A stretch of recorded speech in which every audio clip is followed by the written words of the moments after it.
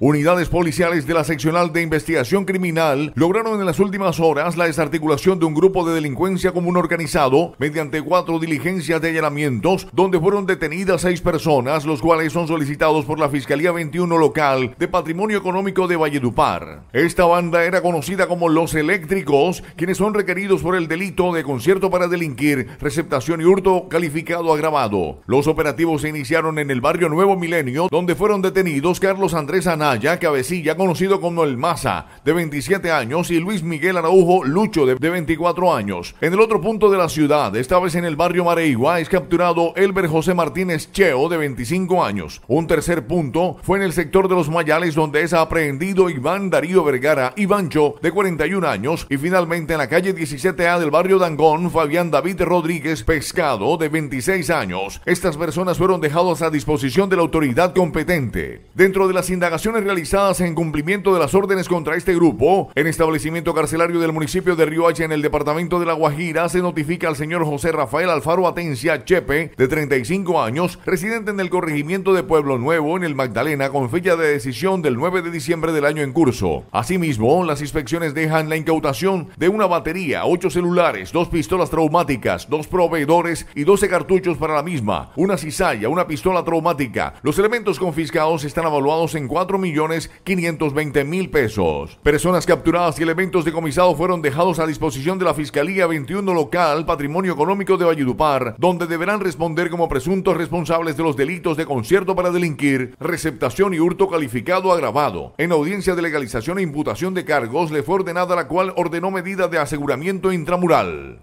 ¡Feliz Navidad!